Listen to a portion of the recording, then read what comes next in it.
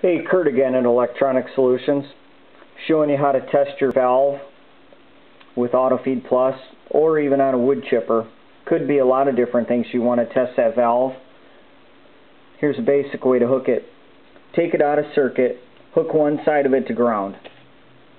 The other side, make sure you take the wires off though and take it out of circuit. The other side, connect your meter. Make sure your meter is in series. I'm using a Fluke multimeter. It's in series. It's set on amperage on DC.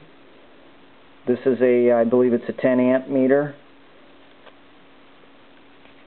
This coil should draw 2.5 amps. When I hook this up, 1.8. That's a good way to test it.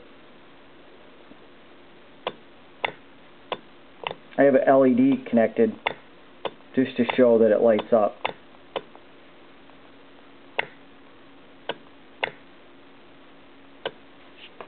There you go. Any questions, call or email. I'll help you out.